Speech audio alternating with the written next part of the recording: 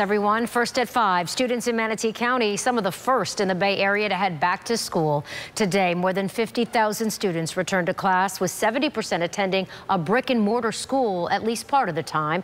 ABC Action News reporter Wendi Lane has more on what the first day was like for students returning for in-person learning. For the first time since March, Manatee County students are able to walk into classrooms again, but this first day of school looks different than ever before. Face masks are the first thing you'll notice on the first day of school. Masks are required to be worn by everyone, with a few medical exceptions. Also, parents are not allowed inside of schools. Manatee High School was even doing temperature checks before entering the building. This all in an effort to have brick and mortar classes, but also try to protect against the spread of COVID 19.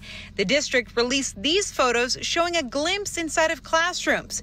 We spoke to some students after school. Most say they felt the school was doing everything possible to keep them safe, but it definitely wasn't the same as a normal first day of school. Nobody knew what to expect. You know, you can't really sit in groups anymore. It's, it's really just separation you got to keep your mask on. They're really onto you about that. Wearing these masks are really annoying.